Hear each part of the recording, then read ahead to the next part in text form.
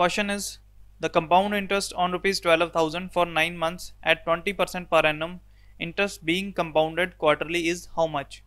So question में हमें find करना है compound interest twelve thousand rupees पे नाइन मंथ्स के लिए twenty percent rate of interest पे कितना होगा जब इसको क्वार्टरली कैलकुलेट किया जा रहा है?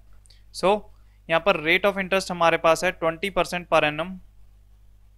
so अगर इसको क्वार्टरली कैलकुलेट करें तो ट्वेंटी परसेंट को डिवाइड करेंगे हम फोर से।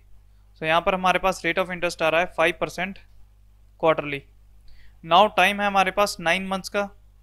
दैट मीन्स हमारे पास है थ्री क्वार्टर्स सो प्रिंसिपल है हमारा ट्वेल्व थाउज़ेंड रुपीज़ नाउ अगर फ़र्स्ट क्वार्टर के लिए इंटरेस्ट कैलकुलेट करें तो रेट ऑफ़ इंटरेस्ट है फाइव परसेंट सो ये आएगा six hundred rupees now second quarter के लिए अगर इंटरेस्ट कैलकुलेट करें तो ये रेट ऑफ़ इंटरेस्ट है हमारे पास फाइव परसेंट सो यहाँ से ये आएगा सिक्स हंड्रेड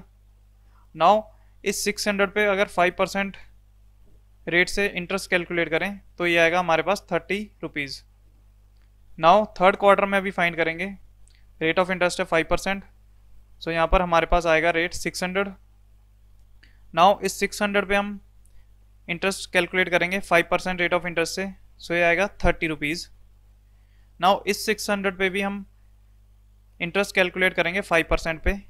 सो so, यहाँ पर ये इंटरेस्ट आएगा हमारे पास थर्टी रुपीज़ नाउ लास्ट इस थर्टी रुपीज़ पे हम इंटरेस्ट कैलकुलेट करेंगे five percent rate of interest से. सो so, ये आएगा one point five rupees so ये सारा हमारा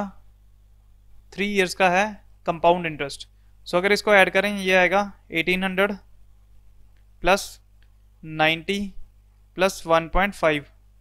so अगर इन तीनों को ऐड करें तो हमारा ये आएगा eighteen hundred ninety one point five rupees so यही है हमारा थ्री ईयर्स का compound interest so correct option है मेरा option number three rupees eighteen hundred ninety one point five zero